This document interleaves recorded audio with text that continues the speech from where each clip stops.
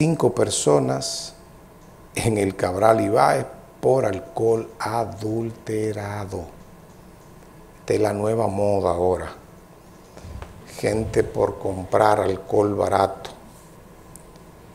Y yo voy a presentar un colmadito que cerraron. No creo que un colmadito, eso tiene una cadena de gente que se beneficia de adulterar esas bebidas para aprovechar las fiestas y darle cosas mezcladas a los muchachos. Incluso vi unos envases plásticos preparados que se lo daban y gente que la compró por caja para llevárselo para su casa.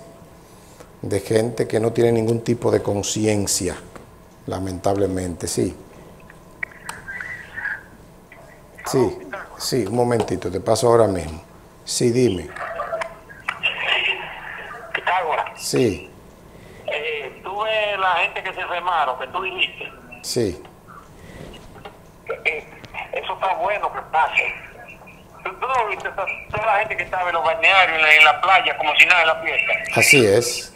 Yo pensé, Pitágoras, que te iba a decir que había 1.500 muertos y 90.000 o 100.000 enfermos, pero aquí no está ocurriendo nada. Ojalá que se mueran 2.000, 3.000 personas, como en Brasil, que está muriéndose de 3.000 a 4.000 gente. Y lo declararon ya zona de desastre, que ahora en la zona que era de China, la trasladaron a Brasil. En Brasil, Pitágoras, está muriendo de 3.000 a 4.000 gente. Y aquí y aquí estamos de loco y de estúpido, escúchame la palabra. Yo veo gente que usa la cosa como tú dices, abajo, como si fuera, ¿cómo se llama esto? Adorno, adorno, como si fuera, como si fuera un- Una gargantilla, una gargantilla aquí, una gargantilla, sí. Eso, eso, tipo, está- ¿Sabes lo que es eso, Pitágoras? En Ecuador, Bolivia, Chile, Chile, todos esos, todos países están cerrando porque está volviendo otra vez. Y, y se está muriendo la gente. Y aquí los dominicanos, con el cleré, la borrachera y los haitianos, lo están matando. Y aquí poniéndonos brutos. Mientras más brutos seamos, mejor es Pitágoras. Eso parece mentira. Ojalá que, que se mueran de 1.500, 2.000 gente diario para ver si la gente aprende, que, la- que los muertos estén en hediondo, explotándose por la calle como estaban en Bolivia. Ojalá que eso sea así para ver si... Va de retro, Satanás. No, no, no, no matan a nosotros, coño. Ojalá que se mueran, son malditos. Va de Están re- en la calle, coño, son desgraciados. Ojalá que se mueran, coño. Cuidado, le va a dar un infarto ese hombre, va de retro Satanás, que no se cumpla nada de lo que tú digas. Dios nos libre de estar como Ecuador o, o- o- o Brasil, Estados Unidos, que fíjate que en estos momentos, a propósito de esa llamada, Italia volvió a cerrar todo por 15 días, Francia, Alemania, Inglaterra, porque aperturaron, comenzaron a abrir las escuelas, las universidades, los bares, una nueva ola mortal. Y ahora que la nueva cepa, la brasileña, no da síntomas. Ustedes quieren ver un estudio completo que publicó el Instituto de Massachusetts, la Universidad de Oxford y el General Hospital John Hopkins. Vayan ahí a mi Facebook, a Pitágoras Vargas, a Tocando el Fondo, y usted va a ver ahora que va directamente a los pulmones, invade tu sistema inmunológico y en cuatro días te puede matar, tú puedes colapsar. Y nosotros aquí chupándonos el, bolón, chupándonos el dedo. Yo estuve hoy en dos lugares. Fui a un taller y fui a una plaza. Y en los dos lugares nadie tenía mascarilla, solo yo. Yo tuve que decirle, pero pónganse la mascarilla. ¿Qué le pasa a ustedes? Ustedes están locos. Yo creo que a mí me dio esa vaina, ya a mí no me va a pasar nada. Si te da una segunda vez, le voy a decir algo y que me llame un, un especialista en, en asuntos genéticos, en virus, que me llame un inmunólogo, que me llame una persona especialista en enfermedades eh, eh, pulmonares y demás. Después que te afecta el coronavirus, que tú te crees inmune como Superman, que le pusieron un collar para que no le diera kriptonita, pues tengo para decirte que la inmunidad te dura de 3 a 4 meses. y que tú tienes la posibilidad de volverte a contagiar y ya en una segunda oportunidad tus pulmones perdieron entre un 40 y un 50 de su capacidad pulmonar si tú eres joven. Y si tú eres un anciano, una persona adulta, si, se, si te salva, tú habrás perdido el 60% de tu capacidad pulmonar. O sea que si te da una segunda vez te puedes despachar para el cementerio fácil. Y yo voy a todo el mundo aquí. Bueno, Semana Santa fue algo desastroso. Y por eso yo decía, bueno, presidente, ¿hasta qué punto el comercio nos va a permitir a nosotros seguir aperturando de esa manera? Entonces los toques de queda para las compras rápidas y para el manejo, el estar encerrado de noche la cuestión, y la gente contagiándose de día. ¿Usted ha ido a los bancos? Ven, Ramón, ¿tú has ido a los bancos? ¿Usted han ido? Filas interminables. Todo el mundo empaquetado ahí. Usted ha ido a una plaza cualquiera aquí. Vaya, empaquetado. Usted, usted ha ido aquí a los centros médicos privados. Sardina parece la gente. Sardina parece la gente.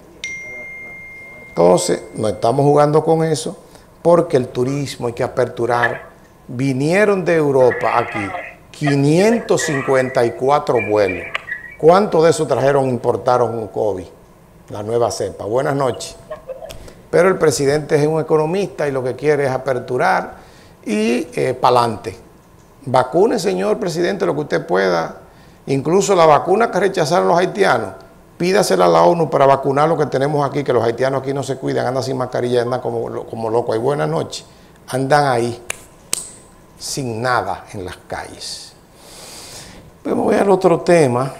El hospital José María Cabral Ibáez, cinco personas consumieron una bebida conocida ya como Cleren. No sé cómo el dominicano es tan animal que es capaz de saber que... Ustedes han visto, yo, yo enseñé aquí un video con los barriles, como que lo preparan, todo el óxido, las cosas asquerosas, podridas, con el que le preparan eso para que le den el sabor. Y sabiendo ustedes que los haitianos son enemigos naturales dominicanos, ustedes van a comprar esa bebida. Pero está bueno que se mueran entonces. Buenas noches. Sí, buenas, Pitágoras. Sí. Es para decirte, haciendo un paréntesis en la información que está dando, que te ves muy bien. Gracias, muchas gracias. Es muy elegante, te ves bien así con tu ves muy bonito. Te felicitamos. Gracias, muchas gracias, tan linda. Muy bien. Ustedes se imaginan, yo le tengo unos videos ahí. Uno no se lo quise mostrar porque una persona lo fue a auxiliar el 911 y estaba teniendo un episodio, un ataque, convulsionó, baba por la boca, volteó los ojos por esta bebida. Yo no sé por qué el dominicano tiene una predilección por lo prohibido. Porque como cojollo, usted teniendo bebidas que saben que de por sí hacen daño, va a beber una cosa ilícita. Pero eso tiene una solución fácil, señor presidente. La mafia que es establecida con eso. No ir y cerrar un colmadito y decirle a un viejo que le compró una botella, ¿de dónde están produciendo eso?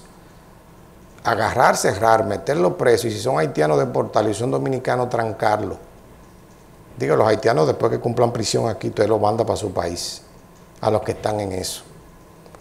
Y por eso es que yo digo que el cólico penal tiene que entrar en vigencia pronto, porque está tipificado lo que es la muerte de este tipo, el ácido del diablo, para que la gente, ah, usted vendió una bebida adulterada, eso se equipara a, un homicidio involuntario, usted tiene 20 años.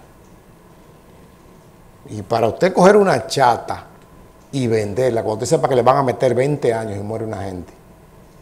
Aquí murieron cinco, fue la misma persona que, por eso que yo decía el cúmulo de penas, ¿recuerdan ustedes? A cinco, ah, usted va a tener entonces, si fueron cinco, 120 años.